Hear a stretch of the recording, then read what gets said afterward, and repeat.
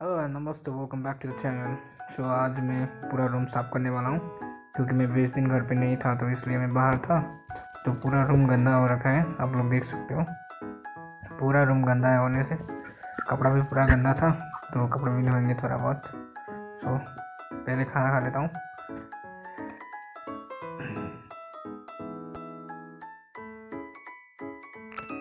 खाना खाने के बाद स्टार्ट होता है मेरा काम करने का, और मैं रूम साफ़ कर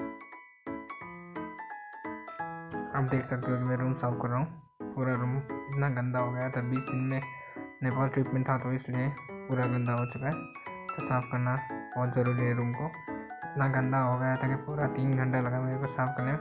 सिर्फ़ एक एक मिनट का ही वीडियो है, लेकिन साफ़ करने में मुझे तीन घंटा लगा है। आप लोग देख सकते हो। पूरा साफ़ ऑफ़ करके मस्त रूम को मिला रहा हूँ मैं। अगर लड़का होने से भी काम करना तो बहुत पड़ेगा ही। अपना रूम साफ़ करेंगे तो अच्छा रहेगा। आप देख सकते हो। पूरा ब्लैंकेट व्लैंकेट भी थोड़ा गंदा हो गया था। उसको मस्त मिला के रख दिया। अब कचरा बहुत ज़्यादा हो गया था तो कचरा भी हम उसको पूरे गार्बेज में डाल के मस्त पैकिंग करके फेंकेंगे शाम को। अभी तो सब पैक कर हूँ पेड़ से भी डाल रहा हूँ, क्योंकि पूरा गंदा हो गया था ना, इसलिए। यही है स्टार्टिंग हो रहा हूँ और ब्लॉगिंग भी कर रहा हूँ। धीरे धीरे करके ब्लॉग मैं डालता रहूँगा।